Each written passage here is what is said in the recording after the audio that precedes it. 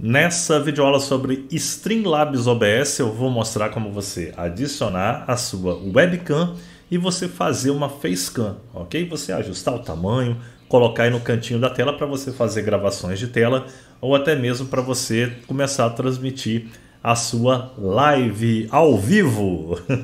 então vamos aqui, gente. Eu já tenho aqui uma cena, tá vendo? Aqui, ó, umas várias cenas. Então, se você não tem nenhuma cena aqui no Streamlabs, você vai em adicionar uma cena, clica, nova cena e feito. Aí você vai criar uma nova cena. E aí vai aparecer aqui para você, provavelmente aqui ó, nada, tá? Eu vou tirar aqui para mostrar para você, ó. Vai ficar a tela desse jeito, como se não tivesse funcionando nada, mas isso porque não tem nenhuma fonte. Eu quero a captura de tela para colocar uma facecam.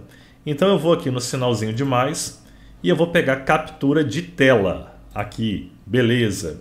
Vai aparecer essa janelinha aqui do lado, eu vou adicionar fonte. Adicionar fonte de novo. Acabei de adicionar a minha tela, aparece aqui já. E agora eu vou em sinal de mais. Com a sua webcam já conectada, você vai em dispositivo de captura de vídeo aqui, ó.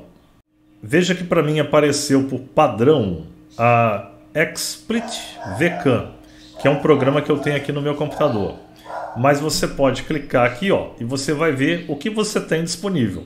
Se a sua webcam estiver disponível, aí vai aparecer para você. Eu tenho aqui o programa dela, que é a Logic, Capture, ela própria, sem o programa, e pelo OBS Studio. Eu vou clicar no modelo da minha webcam. Pronto, agora sim. Eu já tenho. Se no caso não aparecer para você nada, não aparecer nada, Pode ser porque a webcam está sendo utilizada em outro programa, ela esteja sendo utilizada no OBS Studio, em outro programa que você tem aí para poder gravar vídeos, tá bom? Então você vai ter que desativar lá em outro programa que você estiver usando. Desativar não, só fechar o programa, tá bom? Não dá para usar com dois programas abertos. Aí se tiver, você vai e fecha lá, por exemplo, está no OBS, você fecha.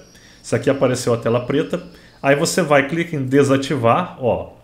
Aí vai ficar assim. E aí você vai e ativa de novo. Mas depois que você fechar a sua webcam no programa que você está utilizando aí a parte, tá? Aí depois você vai e ativa novamente. E vai aparecer aqui para você. Eu vou agora aqui, ó, fechar. Eu já tenho a minha webcam adicionada, eu vou diminuir o tamanho. E agora eu posso ajustá-la e posicionar onde eu quiser. Ó, que bacana. Eu posso colocar onde eu quiser a minha webcam fazendo uma facecam aqui na tela. vou colocar nesse cantinho. Nessa, nessas laterais você aumenta o tamanho ou diminui.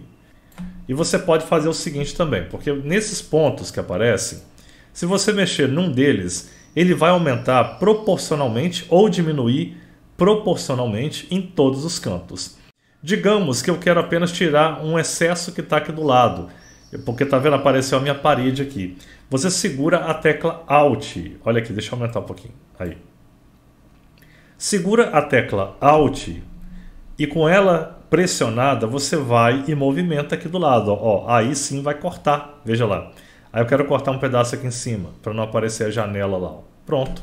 E aí você vai poder fazer o recorte aqui para poder aparecer apenas o que você realmente quer que apareça na sua webcam.